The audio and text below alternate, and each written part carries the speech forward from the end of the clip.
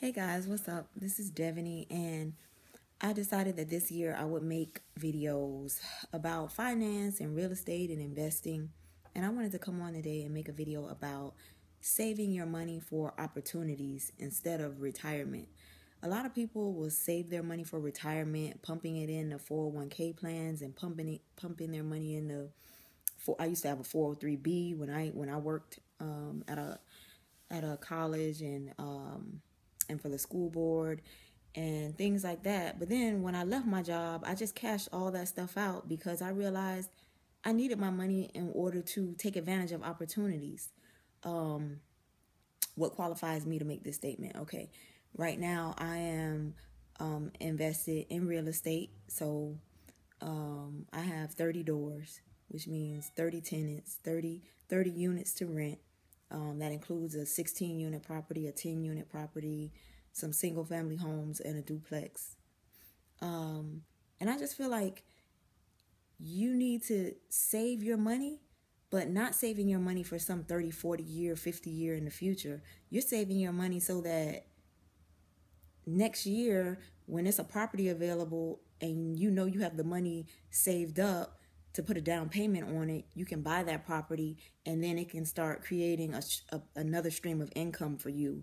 Um, or if a business opportunity comes up and someone needs $10,000 and they're willing to give away, not give away, but have you invest in their business and now you own 20% of their business that you can give them the $10,000 equity that they need and now you own 20% of the business and now you're generating another stream of income.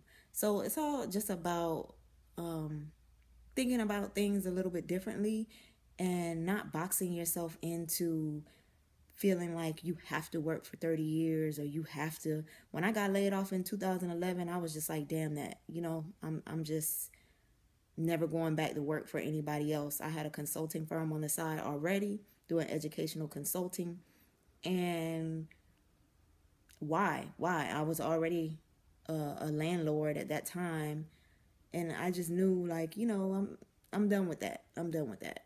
So you want to be able to have the most flexibility possible in your life.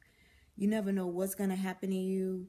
Um, in 2011, I didn't know at the time, but I had just had a baby, and she has like a really rare condition, Rett syndrome, that only like 30,000 girls have.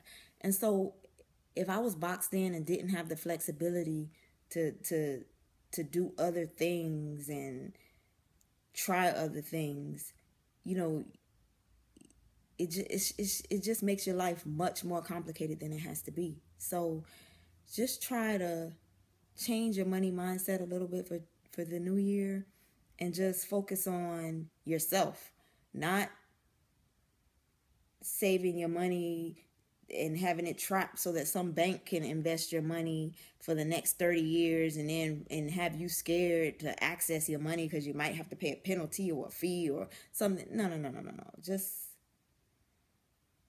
take your money and make it work for you. That's all i'm saying. Just think about it a little bit differently and think about how you can maximize the money that you have coming in to make more money because streams of income is the name of the game. And I'm not going to say passive income because property, I really don't feel like property is passive income because you, you have to do work with property. So I'm just going to call that cash flow. So cash flow is the name of the game.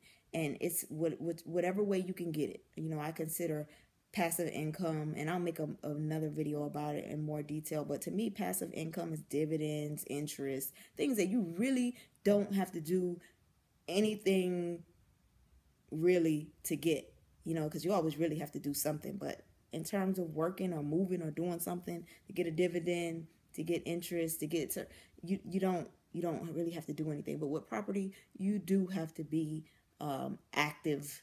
I mean, you can't call it totally passive. It's just it's it's just not. So we call that cash flow.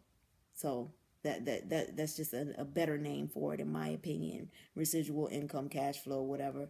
Um, but you just want to make sure that you have multiple streams of income coming in and that you have flexibility in your life to do the things that you enjoy, to do the things that make you happy, and just allow you a certain level of freedom, you know, and understand that money is a tool that gives you that freedom.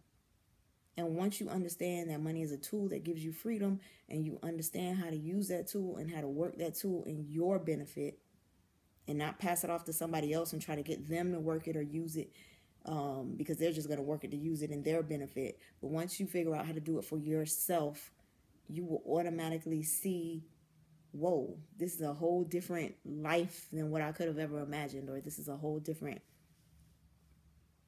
I don't know, situation. So, as the year progresses, I'm gonna make more videos, and I don't know. I'm just committing to to making more videos and do it because I always have a friend who tells me people need to hear. You're always talking about money and finance and wealth, and people need to hear what you have to say, and you need to be out there because you have a different message. And uh, so, I'm gonna I'm gonna work at it this year. All right, you all have a good day. Talk to you later. Bye.